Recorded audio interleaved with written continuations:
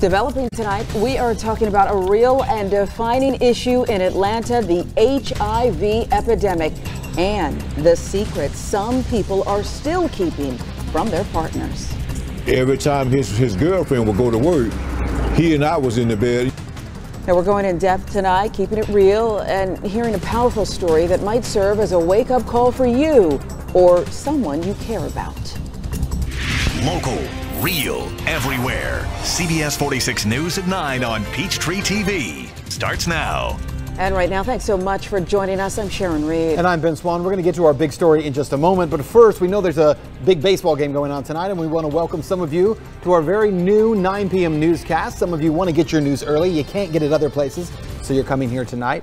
This is a different kind of newscast. It's real, it's edgy. Mostly, though, it's about you. We know a lot of you may be joining us again for the very first time. Yeah, we appreciate it so much. As Ben said, we're into week two. It's already our favorite yeah, hour of the is. day. Uh, buckle up. We do keep it real, as he said, and pretty much nothing is off limits here.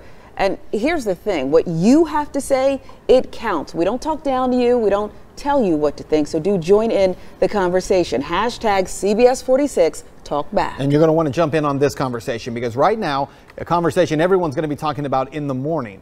Most of us are in for temperatures that we have not felt since April. It's going to be cold out there when you head out to work or school in the morning. Meteorologist Ella Dorsey is up first. She's in for Paul Osman tonight with a first look at the forecast. Ella? Well, it, yeah, like you said, it's just going to be really chilly out there.